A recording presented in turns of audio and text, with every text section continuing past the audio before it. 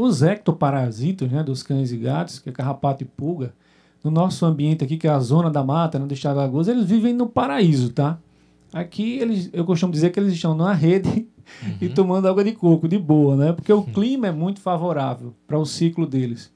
E uma fêmea daquela, né? Você, quem tem pet sabe, você tem os eu, você sabe.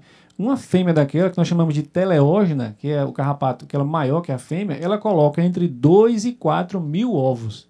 Ah, então, ou seja, ela desce do, do cão, vamos supor, vai para um ambiente lá, ela coloca entre 2 e 4 mil ovos e depois morre.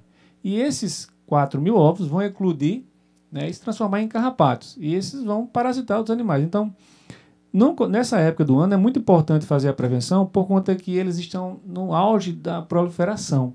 Então é importante que, ao sinal, primeiro sinal de carrapato no seu pet, já trate imediatamente.